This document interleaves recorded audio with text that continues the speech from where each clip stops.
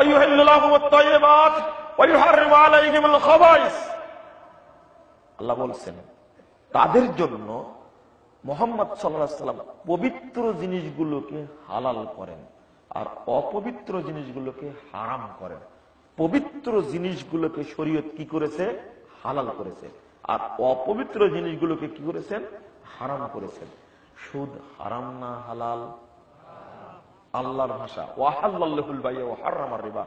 দুইশো পঁচাত্তর নম্বর আয়াত, সুরা বাকারা। আল্লাহ সুদকে হারাম করেছেন। এবার দ্বিতীয় উত্তর দেন। সুদ পবিত্র না অপবিত্র? অপবিত্র জিনিস গায়ে লেগে থাকলে সালাদ কবুল হয় না হয় না?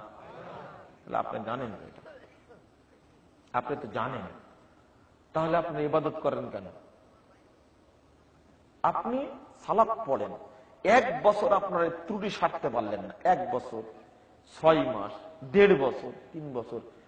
পাঁচ বছর যাবত সুদও খাচ্ছেন, সালাতও পড়ছেন এখন আপনার ইমান নাই যে সালাদ কবুল হচ্ছে না। আমার এই সালাদ কোনো কাজে লাগছে না। আপনি বুঝলেন না কেন? আপনি বুঝছেন না কেন?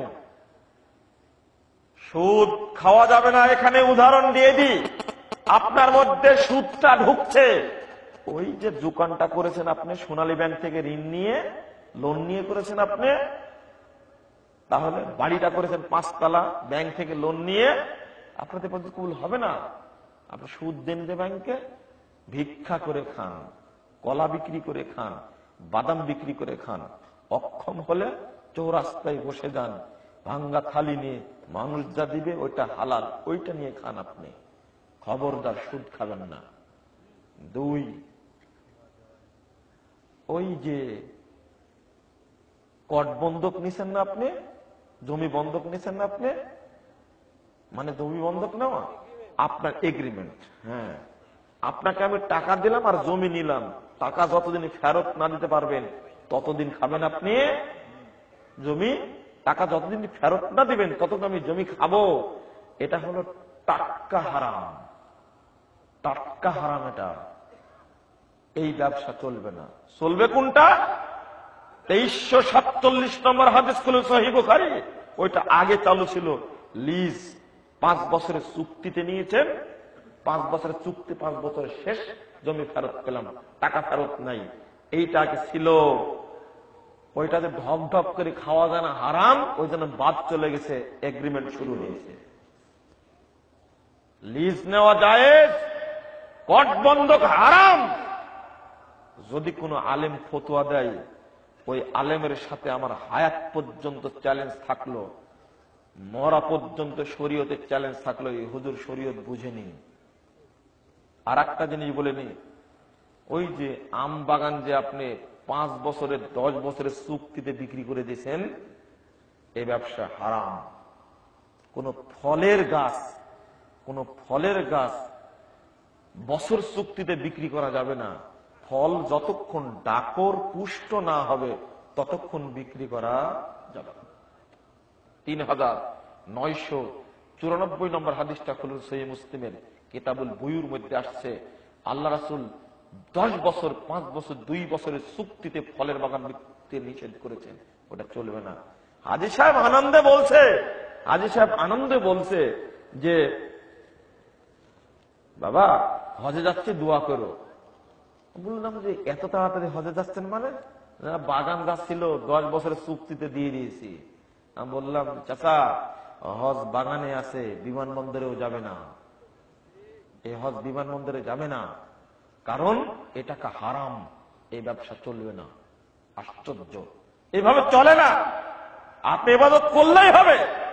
একদিকে এমনিতে হাজি সাহেব শুরু করবে বাড়ি থেকে তালবিয়া পড়া। লাভবাইক আল্লাহুম্মা লাভবাইক লাভবাইক লা শারীকা লাকা লাভবাইক ও বাড়ি থেকে পড়ছে আর বলছে, আমি হাজির, আল্লাহ আমি হাজির।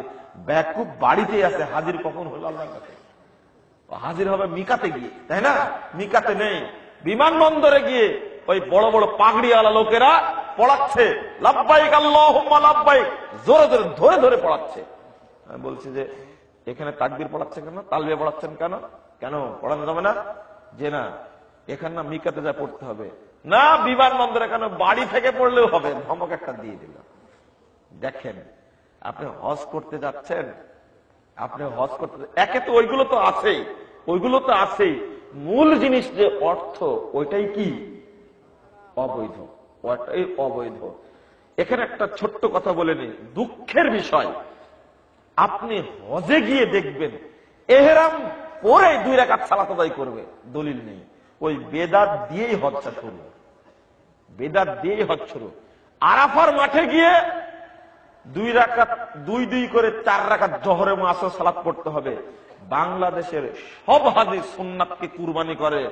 ওখানে গিয়ে জহরও চার রাকাত পড়ে, আসরও চার রাকাত করে সাথে আবার সুন্নাতও পড়ে। কসর আর করবে না। পুরো সফরটাই কসর করবে। জহর এবং আসর জহর আসর একসাথে পড়বে দুই একামতে, দুই দুই রাকাত করে। মাগরে বেশা জমা করে পড়বে একসঙ্গে।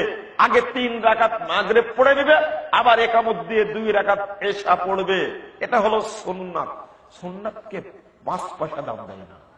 সোননাথকে পাঁচ পয়সা দাম দেয় না। না, হবে না। পুরো সালাদটাই পড়বে।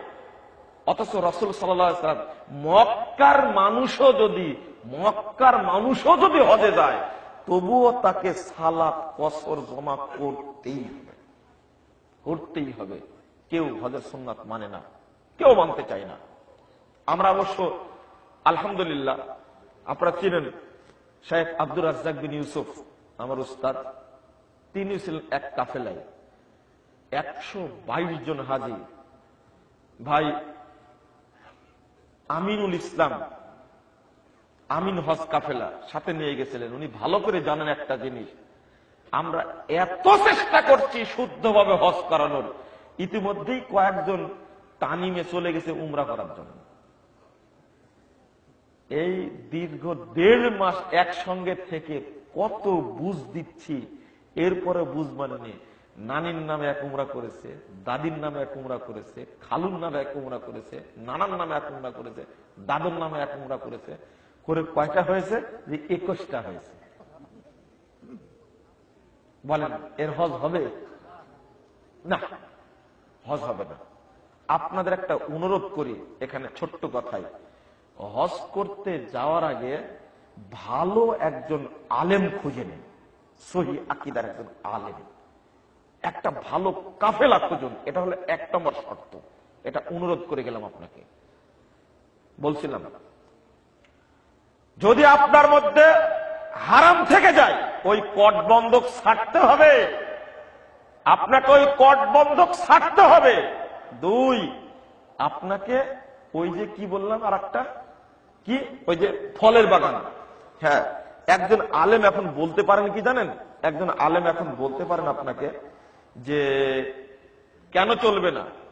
যদি জমি লিজ নিয়ে পাঁচ বছরের চুক্তিতে চলে, তাহলে গাছ কেন পাঁচ বছরের চুক্তিতে বিক্রি করা যাবে না? এবার বুঝতে পেরেছেন? দেখেন, উল্টাপাল্টা করে ফেলেছে ইতিমধ্যে জমি যদি লিজ নেওয়া চলে পাঁচ বছরের চুক্তিতে, ফলের বাগান কারও লিজ নেওয়া চলবে না। দেখছেন?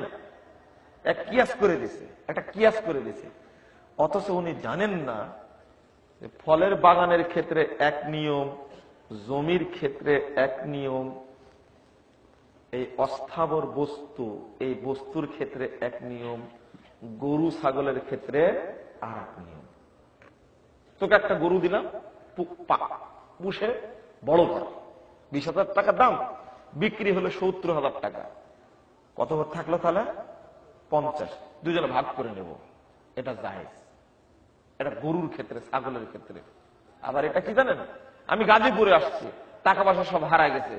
আমি বলছি যে, ঠিক আছে, আপনি মোবাইলটা রাখেন, ব্যবহার করেন, আমাকে দশ হাজার টাকা দেন।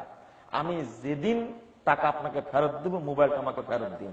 এই দেখেন, এই ক্ষেত্রে যায় এইটা যদি আপনি জমির ক্ষেত্রে মারেন, হবে কি? না, এক একটার ক্ষেত্রে এক একটা নিয়ম। এটাই না বুঝার কারণে এক শ্রেণির আলেম সবগুলো খিচুড়ি পাকাইছে সবগুলো খিচুড়ি পাকাইছে